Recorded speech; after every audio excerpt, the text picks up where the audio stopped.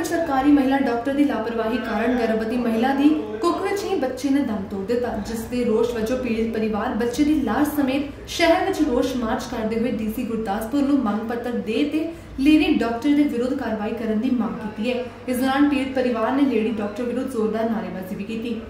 ਉਹਨਾਂ ਨੇ ਉਸੇ ਵੇਲੇ ਸਰਜਰੀਨ ਕੀਤਾ ਤੇ ਬੱਚੇ ਨੂੰ ਬਾਹਰ ਕੱਢਤਾ ਕਿ ਮਾਂ ਦਾ ਵੀ ਨੁਕਸਾਨ ਨਾ ਹੋ ਜਾਵੇ। ਅਸੀਂ ਇਸ ਸੰਬੰਧ ਚਾਹੁੰਦੇ ਹਾਂ ਕਿ ਇੱਥੇ ਜਿਹੜੀ ਡਾਕਟਰ ਜੋਤੀ ਮਹਾਜਨ ਜਿਹਦੀ ਅਣਗਹਿਲੀ ਦੇ ਨਾਲ ਇਹ ਹੱਤਿਆ ਹੀ ਹੋ ਗਈ ਆ ਇੱਕ ਜੀਵ ਜੜਾ ਵਾ ਇਸ ਦੁਨੀਆ ਤੋਂ ਚਲਾ ਗਿਆ ਉਹਦੇ ਖਿਲਾਫ ਜਿਹੜੀ ਹੈ ਸਖਤ ਤੋਂ ਸਖਤ ਕਾਰਵਾਈ ਕੀਤੀ ਜਾਵੇ ਤਾਂ ਕਿ ਅੱਗੇ ਤੋਂ ਭਵਿੱਖ ਭਵਿੱਖ ਵਿੱਚ ਕਿਸੇ ਦੇ ਨਾਲ ਵੀ ਕੋਈ ਇਹੋ ਜਿਹੀ ਘਟਨਾ ਨਾ ਹੋ ਸਕੇ है, मेरे पास पहले भी वो लोग आए थे सारे जो भी पीड़ित थे है ना दे हैड कम तो मैं इंक्वायरी उससे पहले ही मार्क कर चुकी हूँ इंक्वायरी ऑफिसर हमने बिठा दिया है और जो भी तथ्य सामने आएंगे ਤੇ ਜੋ ਵੀ ਦੋਸ਼ੀ ਪਾਇਆ ਜਾਏਗਾ ਜਾਂ ਕਿਤੇ ਵੀ ਲਾਪਰਵਾਹੀ ਜਾਂ ਅਣਗਹਿਲੀ ਦਾ ਐਲੀਮੈਂਟ ਆਏਗਾ ਇਹਦੇ ਉੱਤੇ ਬਿਲਕੁਲ ਸਖਤੀ ਨਾਲ ਕਾਰਵਾਈ ਕੀਤੀ ਜਾਏਗੀ ਕਿਸੇ ਪ੍ਰਕਾਰ ਦੀ ਵੀ ਨਰਮੀ ਨਹੀਂ ਵਰਤੀ ਜਾਏਗੀ ਔਰ ਜੋ ਵੀ